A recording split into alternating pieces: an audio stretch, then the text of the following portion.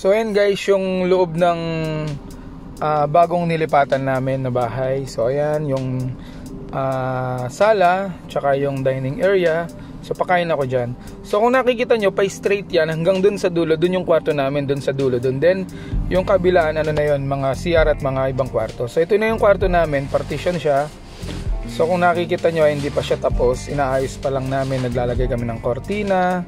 So ayan, nilalagay ko yung kortina para at least uh, kahit pa paano 'di ba may mga hindi siya open so ayan nagfi-fix ako diyan pagkatapos kung napapansin nyo uh, wala pa siyang gaanong gamit kasi nasa isang bahay pa namin sa luma so ako yan nilalagay namin yung cortina kulay gold yung cortina nilagay namin tapos may cabinet na rin yan tapos may uh, binili na rin kaming bed. So lahat ng mga gamit namin puro bago para at least uh, maiwasan yung surot kasi minsan yan nangyayari sa mga surot.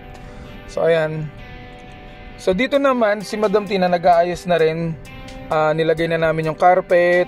So ito na yung final na pag-aayos namin kasi last day na namin doon sa isang bahay namin. So ayan, di pa siya talaga actually tapos.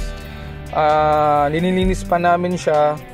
Tsaka yung mga gamit-gamit pa namin. Ito naman yung CR namin. Napakaganda napakalinis. Ayan. Kasama na din yung washing dyan. May bathtub na rin. Tapos aalis kami rito. Papunta kami ng Hamdan para bumili ng isda para dun sa aquarium namin.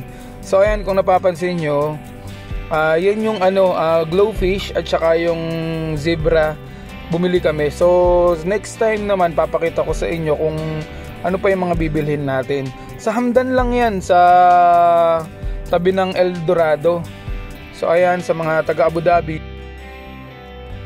So ayan guys, yung pinaka kwarto namin. So ayun, naglagay kami ng lagayan ng sapatos. Galing yun ng IKEA.